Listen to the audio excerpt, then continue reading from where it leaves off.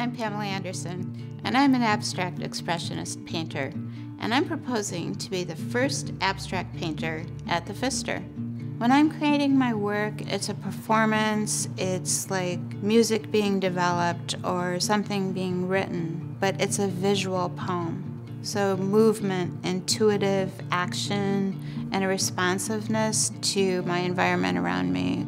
A lot of it is just happening as I'm moving with the piece, with the pieces that I'm using to make the art. I use large mops, tools, and huge brushes, and I puddle and scrape to produce my work.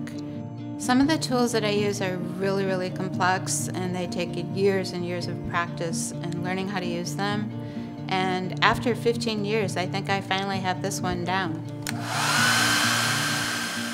I'm going to create two different series while I'm at the Pfister. One is going to be called Gilded, based on the beautiful ornamental, bright gilded fixtures in the Pfister building, playing against the rich uh, decorative colors that exist in this space. The other one is going to be called Architecture, and that is going to feature some of the more modern parts of the building and picking up some of the lines and the angles and the beautiful structure of the building. I am a connector and I love marketing. That is one of my passions. I love bringing people together. So it's really fun to think about how I can create participation from the art community, bringing them into the Pfister. I want to create a series called Elevated Conversations Afternoon Teas in Art Salons with monthly visiting local artists.